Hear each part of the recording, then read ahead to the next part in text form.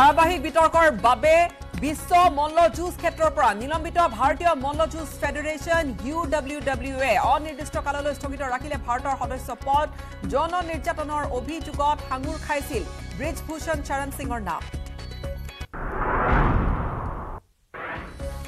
জন্মৰ পিছতে পাষাণ মাতৃয়ে হত্যা কৰি পুতি থলে কন্যা সন্তানক জামুগুৰিহাটৰ কেৰাণী পামত নিকৃষ্ট বৰ্বৰ কাণ্ড আৰক্ষীয়ে আটক কৰিছে অভিযুক্ত মহিলাগৰাকীক। ধেমাজি বোমা বিস্ফোৰণৰ সকলো অভিযুক্তক দোষমুক্ত।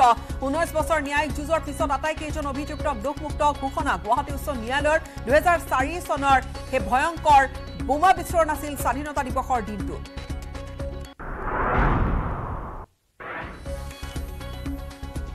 ঘোষণা হ'ল ৰাষ্ট্ৰীয় চলচ্চিত্ৰ বঁটা অনুৰলৈ শ্ৰেষ্ঠ অসমীয়া ছবিৰ সন্মান।